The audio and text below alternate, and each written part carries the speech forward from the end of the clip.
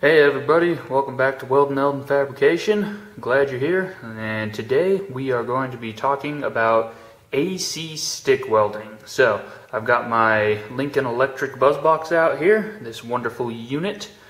And we're going to go over some of the differences between AC welding and DC welding. So first things first, let's go talk about the current that you're going to be using in AC. Okay, so here's a uh, graphical representation of your AC current. As you can see on the one side, I've got your direct current, negative polarity on the top, and the direct current, positive polarity on the bottom. So, what AC stands for is alternating current. So, when you're using AC, you will have a certain amount of your current in the negative polarity and a certain amount of your current in the positive polarity. When you're doing stick welding AC, these two should be even. I've kind of, you know, misdrawn it a little bit, but what can you do? So, the way this graph works is the more into this polarity you go, the higher this arc is, the more amperage you have here. So, if this is 100 amps right here, we'll just pretend I could have 100 amps into the DC negative polarity, and on the other side, I should have the same 100 amps in the DC positive polarity. Now, the reason that it matters what rod you use with AC is you'll notice that you increase amperage over time, and then it decreases, and then it hits this zero point. This zero point is why you have to pay attention to what rod you're using with AC. So with AC, you use a 7014 and a 6011. You don't want to use the 7018 because on the 7018, when you hit this zero point, your arc will shut off and it won't relight. As opposed to with the 7014, when it comes through, the arc will shut off, but it will relight going into the other polarity. And so it'll shut off, relight, shut off, relight, and it'll continue on and on and on and on for the duration of your welding. But you need a rod that will relight its arc when it passes through this zero point. So that's why you use a 6011 or 7014 rod for this. So now that you kind of understand some of the basics on AC current, Let's go over to the machine, we'll get it set up, and hopefully we'll be running some welds here. Okay, so the first rod that we're going to set up is our 6011 rod here. now, as you can see on my Lincoln Buzz box, I have significantly fewer settings that I can uh, work with than I did on my Everlast. Namely, I have this one knob to set my amperage. Simplicity is nice. Simplicity is nice. The reason that these machines last so long is because they are a simple setup like this. Now, with the AC current, because it alternates current between the positive and negative polarities, and it has that zero point there, you always need to set your AC current a little higher than what you would set on your DC current. So usually on DC, they you would start out at about 90 Again, in my 6011 video that I did on DC, I started at 100 because I liked that a little bit more. But most of the time on DC, you'd start at 90. With AC, and the way that I think about it, because I have this particular box, I go two clicks higher than what I would on DC. So on DC, if I'd be on 90, two clicks higher would put me on 115. Now, Again, if you don't have the clicks, that's okay. Just give yourself more amperage. So 90, I'm going 115. If you're at like 120 for like an eighth inch uh, 7014, if you were starting at 120, I'd probably go, well, probably 145, 130, somewhere in there.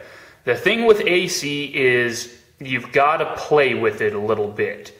Get a setting that you think will work and then get a couple pieces of scrap metal, start an arc, see how well it runs the bead, and then adjust from there. So we're going to start at 115. And I'm going to take a quick moment. We're going to go over technique on this, and then hopefully we will run a bead. Okay guys, so here's the scrap piece that we're going to be using today. As you can see, I've run a whole bunch of beads over this trying to get the uh, settings to lock in. And uh, I'll admit it, it's been, uh, it's been a bit of an adventure getting this thing to run right. So, if you guys remember from when we did our 6011 on the other machine, it's going to be the same exact technique. You're going to come in, you're going to tap your rod, get your arc started, bring it in, and then you're going to whip it across. So you're going to go back and forth, back and forth, back and forth. Okay? And then when you get to the end of your bead, you're going to come out, come back in, let it fill in a bit, break the arc off. And then more likely than not, because this is a 6011, I'll be coming back in and filling in that crater with just a quick restart, quick fill, and break it off. Now, one of the reasons that it took me a while to get these settings locked in and why there's so much metal on this, this particular machine runs a little bit voltage heavy. So that means that I have a very liquid puddle. So, in order to counteract that, what I've got to do with this machine is I have to keep a very, very short arc length. I cannot let my arc length get long because the longer your arc length, the more voltage you get in your arc. So I've got to keep this very, very tight. I've got to keep this a very, very short arc length. So I'll probably have to make some adjustments to the machine, but let's go ahead, throw a rod in, we'll throw on our safety gear, and we'll see if we can run a bead and see how well it comes out. So, back in a bit.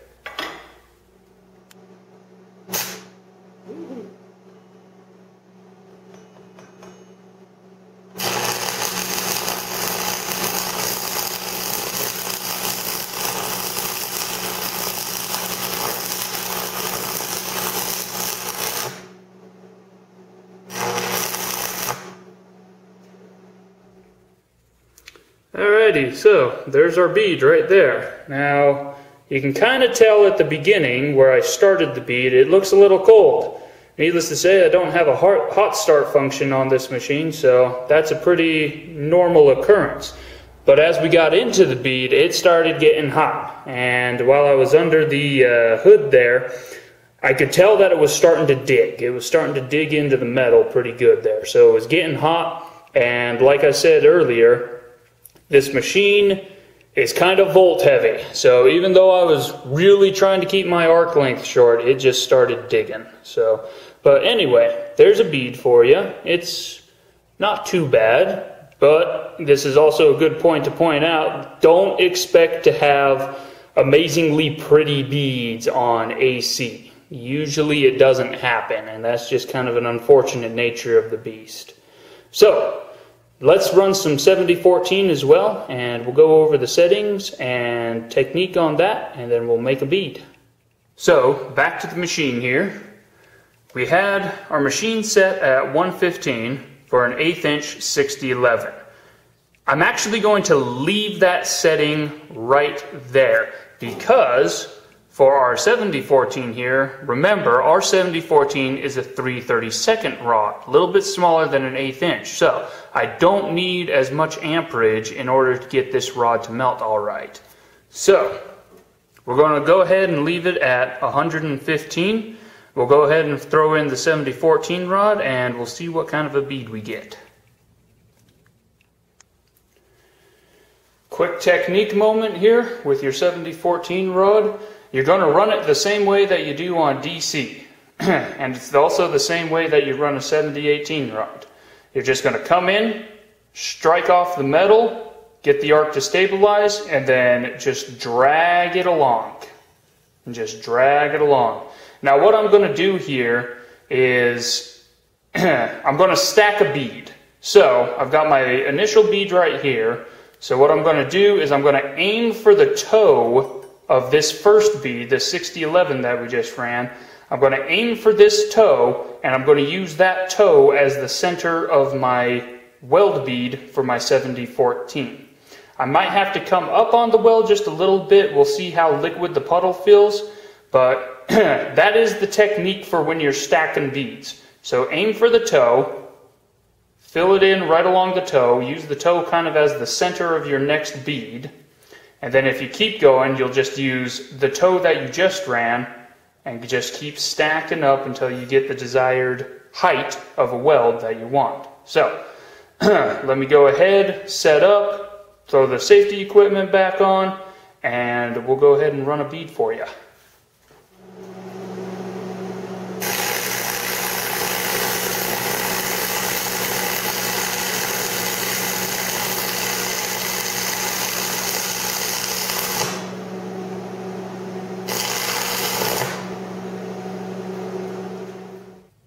So there's the bead. It looks pretty rough, doesn't it? um, again, I had a pretty harsh cold start there, so that didn't help much. But uh, as I got going, uh, oh, come on, camera focus. As I got going, the voltage started setting in, even though I had a really short arc length, and it just, uh, you know, it got hot, it got liquid. So running AC is just difficult it takes a lot of time, it takes a lot of practice, and frankly, it takes some better quality rods than what I'm using. I'll be dead honest on that one. Uh, I'm actually going to go ahead and set the amperage a little bit lower and run another one for you guys. And this will kind of serve as like a troubleshooting when you're welding away, troubleshooting way to just kind of see if you can get a better bead. So let me set my amperage a little lower. I'll kick it down a notch and let's see if we get a better bead.